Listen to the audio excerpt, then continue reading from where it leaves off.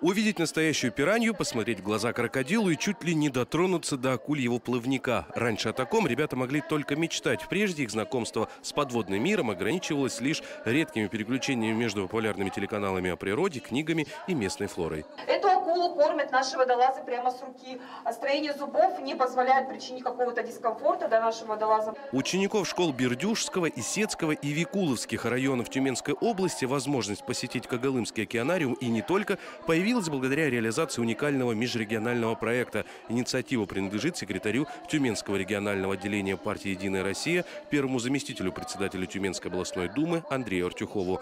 Идею о детском туризме поддержали на Совете законодателей трех регионов еще в апреле. Сейчас пришло время его реализации. Более 800 детей э, из Югры, Ямала и Тюмени посетили э, соседние регионы.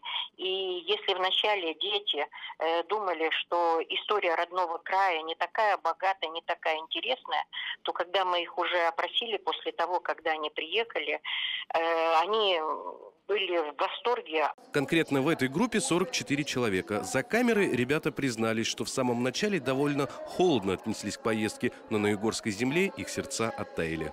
Мне больше всего понравился туннель.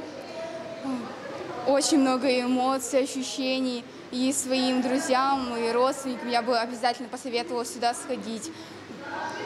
Я была в других океанариумах, но здесь мне больше всего нравится.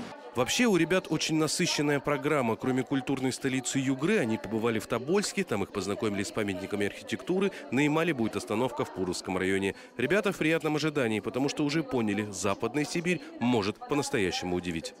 Все дети в шоке от океанариума, потому что океанариум в Когалыме является океанариумом мирового уровня, и дети просто настолько счастливы.